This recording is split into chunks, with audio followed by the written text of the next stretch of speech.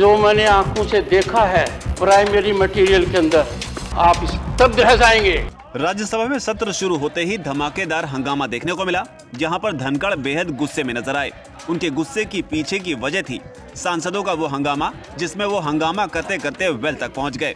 यहाँ पर लगातार अडानी को लेकर नारे लगाए जा रहे थे, जिसमें कहा जा रहा था कि मोदी, अडानी भाई भाई देश बेचकर खाए मलाई। जिसके बाद धनखड़ ने अपना आपा खो दिया। धनखड़ ने कड़ी चेतावनी देते हुए सभी सांसदों को वापस जाने के लिए कहा।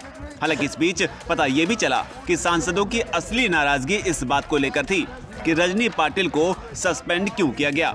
आपको बता दें कि राज्यसभा सांसद रजनी पाटिल को एक वीडियो बनाने को लेकर सस्पेंड किया गया। जो वीडियो भी अब सामने आया है। बताया जा रहा है कि उन्होंने अनऑथराइज तरीके से इस वीडियो को बनाया था, जिसके बाद उनके खिलाफ इस कार्रवाई को किया गया। और इसी मुद्दे को लेकर राज्यसभा में जोरदार शोर शराबा देखा गया। शोर शराबा करने वालों में राघव चड्डा संजय सिंह, इमरान प्रतापगढ़ी समेत कई नेता शामिल थे। वो लगातार रजनी पाटिल का निलंबन वापस लिए जाने की मांग कर रहे थे। इसी पर धनखड़ बेहद गुस्से में आ गए। उन्होंने कहा कि मैंने जो वीडियो देखा है, उसे देखकर आप स्तब्ध रह जाएँगे। मैंने बहुत कम कार्रवाई की है। जो कुछ देखा है, मुझे मजबूर मत करिए। वो सब कहने के लिए कि कैसे किया गया, किसने किया। जो मैंने आँखों से देखा है प्राइमरी मटेरियल के अंदर, आप स्तब्ध रह जाएँगे। I have taken the most lenient course सुनिए सुनिए।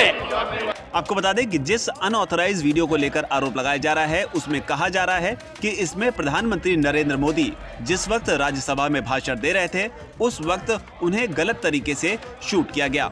वो वीडियो देखते ही देखते सोशल मीडिया पर वायरल हो गया और इस बीच पार्लियामेंट का ये वीडियो भी ट्विटर पर ट्रेंड करता दिखा, जिसमें कई सांसद एक साथ खड़े हुए हैं और सरकार के खिलाफ नारे लगा रहे हैं। जबकि चेयर पर खुद धनखड़ बैठे हुए हैं और प्रधानमंत्री मोदी जो हैं, वो भाषण दे रहे हैं।